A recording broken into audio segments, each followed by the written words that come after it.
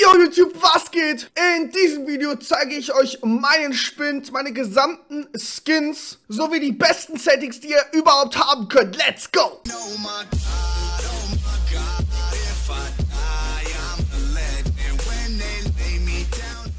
Genau, denn ich wurde wirklich nämlich oft gefragt, dass ich mal meinen Spind zeigen kann, sowie die Kamerasettings. Deswegen werdet ihr jetzt in diesem Video die besten Settings erklärt bekommen, so wie werdet ihr meinen Spind sehen. Nochmal zur Info, heute um 16 Uhr findet der Livestream statt über die neuen Änderungen, über die neuen Moves, die neuen Waffen, die neuen Items und das neue zu essen, sowie über das neue Feature. Ich bin schon um 15 Uhr live auf Twitch, also unbedingt einschalten, um 16 Uhr findet dann der ganze Stream statt und wir werden dann bis in die Nacht hinein in das neue Mid-Season-Update reingehen, also unbedingt einschalten, seid dabei, wir werden das Ding komplett rasieren. Ab morgen wird dann auch wieder fresher Wommaverse-Content kommen zu allen neuen Änderungen, zu den Moves und und und und nachher könnt ihr gespannt sein, denn wir werden auch noch eine Reaction machen auf die neuen Sachen, die dann dazu kommen, live im Stream. Aber jetzt erstmal in die Einstellungen. Zu den Einstellungen gibt es auf jeden Fall ein paar Sachen zu sagen. Und zwar als erstes würde ich euch empfehlen, ähm, die Eingabe-UI äh, zu verbergen. Das äh, ändert einfach nur rechts an der Seite. Seht ihr dann quasi, wie man dasht, wie man blockt, wie man angreift und und und. Falls ihr also neu seid, könnt ihr das gerne anlassen als Tipp für euch. Falls ihr aber schon erfahren seid und die Tasten kennt, dann würde ich euch empfehlen, die Eingabe-UI auszustellen, damit ihr dann quasi rechts nichts verstehen habt und es quasi ein cleaneres Bild ist. Dann würde ich euch auf jeden Fall auch empfehlen, die äh, Lautstärke einzustellen, wie ihr wollt, denn in diesem Spiel hat die Lautstärke nicht so viel zu bedeuten. Man muss nicht auf Steps achten oder ähnliches, aber zum Beispiel, wenn jemand einen Elbow-Drop macht, hört man es, das heißt vielleicht dort eventuell die Effektlautstärke ein äh, bisschen hochstellen. Dann hier bei der Grafik, ich habe ja, Vollbild-Fenstermodus, Helligkeit unbedingt auf 7, denn ihr seht auf 10 zum Beispiel, ist es einfach, ja, meiner Meinung nach, zu grell. Und wenn man die Helligkeit runterstellt, dann ist es halt, meiner Meinung nach, ein bisschen zu dunkel. Ich finde, die 7, ja, gibt die perfekte Helligkeit für das Spiel, dass man alles sieht und gleichzeitig es nicht zu hell ist. Dann meine Einstellungen sind alle auf episch. Ähm, da würde ich euch natürlich aber empfehlen, eurem PC oder eurem, euer, eurer Hardware und Software zu urteilen, eure Einstellungen einzustellen. Das bedeutet, wenn ihr einen schwächeren PC habt, ist es auch keine Schande, einfach alles auf niedrig zu stellen, um ein besseres Spielerlebnis zu ermöglichen. Dann kommen wir jetzt schon fast zum wichtigsten Tipp und zwar den Kameraeinstellungen und der Empfindlichkeit. Dort würde ich euch empfehlen, die X-Achse, also hier bei den Kameraeinstellungen, auf 20 kann man aber auch auf 30 machen. Dann ist es so, dass sich die Kamera schneller dreht. Ihr habt vielleicht besseres Movement damit. Ich habe es ähm, ja eigentlich meist auf 21, aber so auf 25. Eine gute Mischung geht auch, damit ihr wirklich alles sehen könnt, ein besseres Movement habt.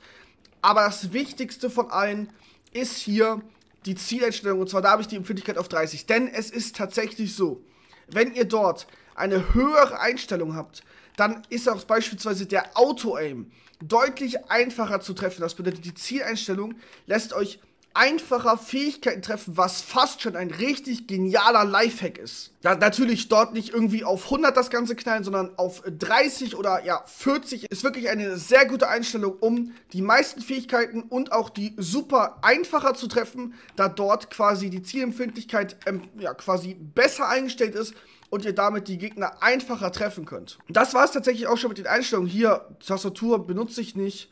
Das hier ist einfach nur mein äh, Mikro, mein, mein Kopfhörer, aber da in den Einstellungen gibt es quasi nicht so viel zu sagen, aber das sind so quasi die wichtigsten Tipps, die ihr braucht, um quasi dann besser im Spiel agieren zu können. Dann kommen wir nun zum zweiten Teil des Videos und zwar ja, meiner, meinem Spind. Hier kommen wir einmal zu den, ähm, zu den verschiedenen Sachen. Und zwar hier habe ich einmal auf jeden Fall dieses ja, Gangster-Outfit. Ähm, das sieht dann so aus.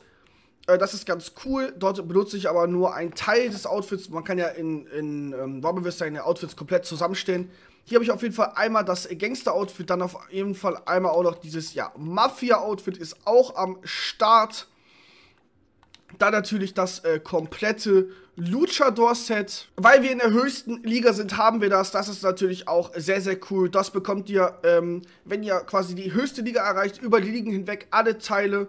Dann haben wir natürlich auch noch das wunderbare äh, Huhn-Outfit, was man auf Level 100 des Battle Passes bekommt. Auch sehr zu empfehlen. Sieht auch super, super cool aus. Dann haben wir noch, ja, sowas. Dann habe ich hier noch äh, dieses Punk-Shirt. Da haben mich viel gefragt, woher ich das habe. Das habe ich aus dem, ähm, äh, Punk-Pack äh, bekommen, was ganz, ganz am Anfang da war, quasi ein OG-Skin. Ähm, hier noch, ich glaube, noch mit den Punk-Schuhen zusammen, die Punk-Weste und die Punk-Jeans, so sieht das ungefähr aus. Äh, noch mit den Haaren, glaube ich, zusammen. Das sieht ganz cool aus, da benutze ich auch zum Beispiel die Brille sehr, sehr oft oder ähm, die Hose. Also das sind wirklich auch sehr, sehr geile Teile, also sogar einer der geilsten Teile überhaupt, meiner Meinung nach. Dann haben wir natürlich hier noch aus dem äh, Battle Pass äh, ja, dieses Gefahrengut-Paket quasi, wie wir hier sehen. Ähm, das ist auch ganz cool. Da natürlich auch noch äh, dieses hier.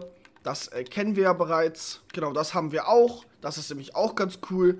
Dann natürlich habe ich noch den äh, Q-Skin mir geholt, welcher auch sehr, sehr lustig aussieht. Das äh, habe ich auch schon in den Kommentaren gelesen oder im Livestream-Chat, dass es wirklich ja fast schon Fan-Favorite ist zum Teil. Ja, dann seht ihr, habe ich noch ja hier sowas, Topfern-Schuhe, noch ein nices Tattoo, meiner Meinung nach. Hier sehen wir das.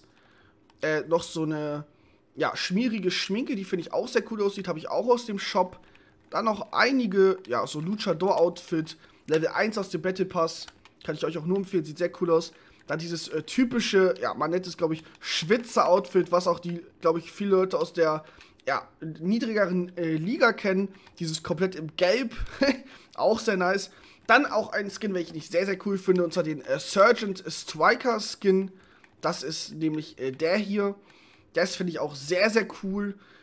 Ähm, den kann man hier natürlich auch noch männlich, sieht er, glaube ich, noch cooler aus. Hier sehen wir ihn, der, der ist halt super cool, finde ich. Sergeant Striker, auch ein richtiger OG-Skin. Macht man wirklich nichts falsch mit, sieht echt verdammt, verdammt cool aus, muss ich sagen. Und das war's auch schon fast. Ich kann euch jetzt nochmal meine Top 3 Skins zeigen, die ich momentan am liebsten trage. Das ist einmal er hier, das ist unser ja, Punk, der hier in der Stadt das Sagen hat unter den Gangs mit seinen ja, Goldketten, seinen Tattoos, seinen kranken Haaren und seinem Outfit finde ich wirklich sehr, sehr geil. Könnt ihr mal in die Kommentare schreiben, wie ihr diesen Skin findet. Dann noch den zweiten Skin, den kennen auch wirklich viele hier. Äh, auch bekannt aus dem Video, in meiner Stadt wird nicht geteamt. Der, ja, quasi Geldeintreiber-Skin, der Mafia-Boss von Graffiti City.